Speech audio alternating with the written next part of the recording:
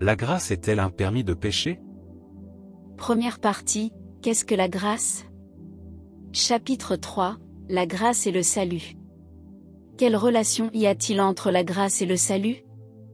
Pour répondre à cette question, nous devons définir rapidement la grâce et le salut. La grâce. Premièrement, la grâce est définie comme ce qui fournit la joie, le plaisir, les délices, la douceur, le charme, la tendresse. En effet, la racine de mot grec traduit en français par grâce est chéro qui signifie se réjouir, être heureux, être extrêmement réjoui, être bien, prospérer. Deuxièmement, la grâce est définie comme la bonne volonté, la bonté, la faveur, ou la bonté miséricordieuse, avec laquelle Elohim exerçant sa sainte influence sur les âmes, les tourne vers Yehoshua le Sauveur. Il les garde, les fortifie, et amplifie leur foi, dans la connaissance, l'affection et allume dans les âmes de ses enfants les vertus chrétiennes. Troisièmement, la grâce est définie comme un bienfait, une faveur. Le salut. Plusieurs mots grecs ont été traduits par salut, soteria, traduit en français par délivrance, conservation, sûreté, sécurité, salut. Ce terme a au moins deux racines. Sauteur, sauveur, libérateur. Ce nom était donné par les anciens aux déités, spécialement les déités de tutelle, aux princes, aux rois et en général aux hommes qui avaient apporté de grands bienfaits à leur pays, ce mot fut ensuite employé, en des occasions moins nobles, pour la flatterie de personnages influents. Sozo, sauver, garder sain et sauf, délivrer du danger ou de la destruction, sauver quelqu'un d'un préjudice ou d'un péril, du périssement, quelqu'un qui souffre, qui souffre de maladie, le guérir, lui redonner la santé, préserver de la destruction, sauver dans le sens technique biblique, délivrer des peines du jugement messianique, sauver des maux qui font obstacle à la délivrance par le Machia. Les Écritures sont catégoriques concernant le salut. Il n'y a pas de salut en dehors de la grâce de Yehoshua. Acte, chapitre 15, verset 11. Mais c'est par le moyen de la grâce du Seigneur Yehoshua Machia que nous croyons être sauvés, de la même manière qu'eux aussi.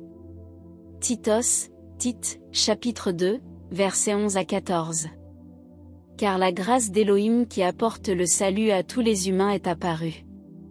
Elle nous enseigne, pour qu'en renonçant à l'impiété et aux convoitises mondaines, nous vivions dans l'âge présent discrètement, justement et pieusement, en attendant l'espérance bénie et l'apparition de la gloire de notre grand Élohim et Sauveur Yehoshua Machia, qui s'est donné lui-même pour nous, afin de nous racheter de toute violation de la Torah et de nous purifier, et de se purifier un peuple qui soit son bien propre, zélateur des bonnes œuvres.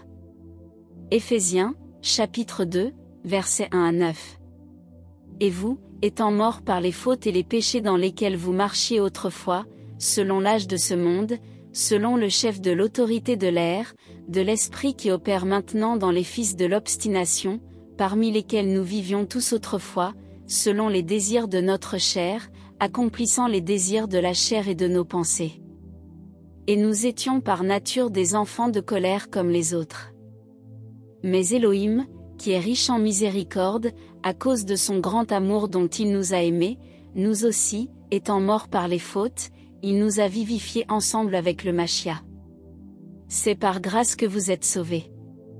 Et il nous a ressuscités ensemble, et nous a fait asseoir ensemble dans les lieux célestes en Machia Yehoshua, afin qu'il montre dans les âges qui viennent l'immense richesse de sa grâce par sa bénignité envers nous, en Machia Yehoshua car vous êtes sauvés par la grâce, par le moyen de la foi.